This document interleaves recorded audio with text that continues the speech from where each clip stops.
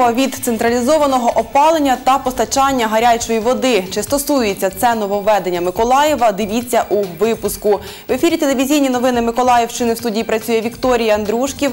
Доброго ранку. Протягом прямого ефіру на екранах ви бачитимете нашу електронну адресу, за якою зможете звертатись до редакції, а також посилання на наш Ютуб канал та Фейсбук.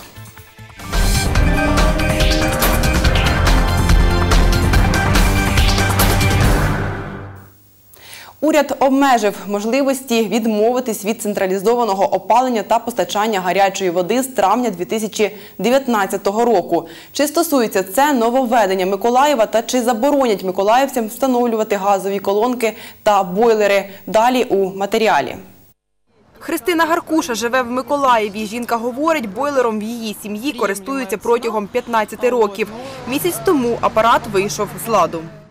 Ходила по сайтам по разным, там где дешевле, где качество получше. Заходила на сайти різні, де дешевше, де якість краща, де що. І випадково натрапила на те, що якийсь закон, що ставити тепер бойлери чомусь не можна. У нас гарячої води, я ще не знаю, я напевно маленька була, років три. Ось я пам'ятаю, що начебто вона була, але потім ні. Це вже буде у нас четвертий бойлер. І як так можна заборонити законом не ставити бойлери? Де брати гарячу воду? У тазиках митися? Ну, слава Богу, у нас 21 століття на вулиці.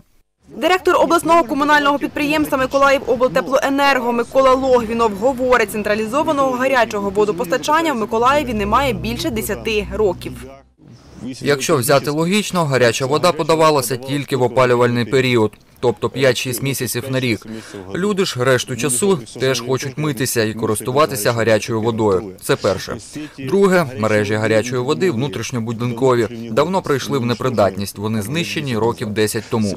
Мережі зовнішні, які йдуть від котелень, теж прийшли в непридатність. Відновлення тільки наших мереж теплоенерго коштуватимуть близько 200 мільйонів гривень. Тобто економіки не вийде ніякою. Плюс не треба забувати, що гаряча вода це досить дорога послуга. Ми рахували, це виходить 89 гривень куб.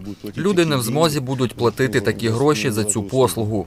У 2018 році обласне комунальне підприємство «Миколаївоблтеплоенерго», виконуючи рішення міськради, демонтували мережі подачі гарячої води. Гроші, вилучені від збуту металу, витратили на підготовку до опалювального сезону 2019 року. По-хорошому, це треба було зробити 10 років тому. Тоді ця труба ще могла використовуватися в інших видах діяльності. У минулому році це металобрухт. Ще один постачальник тепла, Миколаївська ТЕЦ, востаннє подавало гарячу воду у 2014 році, говорить головний інженер підприємства Федір Шевченко. У три райони міста – Центральний, Заводський та Інгульський. На жаль, е, подавали ми гарячу воду тільки в опалювальний період. Період. Це, мабуть, е, було одним із таких значних факторів, чому люди перейшли на бойлери чи інші якісь теплообмінники, які підігрівають воду. Тому що сезонність е, подачі гарячої води е, мала великий вплив на рішення людей. В минулому році влітку було рішення е, Миколаївської міської ради, згідно якого рекомендували, щоб в місті Миколаєві ПРАТ Миколаївська ТЕС не подавала населенню гарячу воду. Вікторія Андрушків, Юлія Кускова, телевізійні новини Миколаївщини.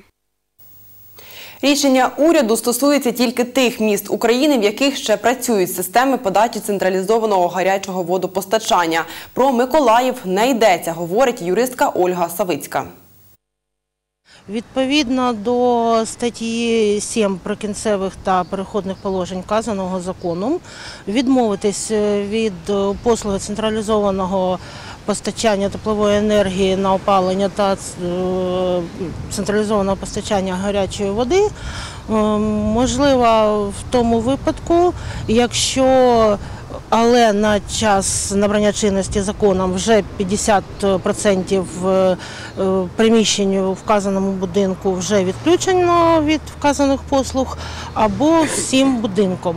13 липня 2018 року е, міськвиконкомом було прийнято рішення номер 616, е, відповідно до якого обласному комунальному підприємству Миколаївоблтеплоенерго е, було встановлено припинити постачання гарячої води, а Миколаївської ТЕЦ було запропоновано припинити постачання гарячої води.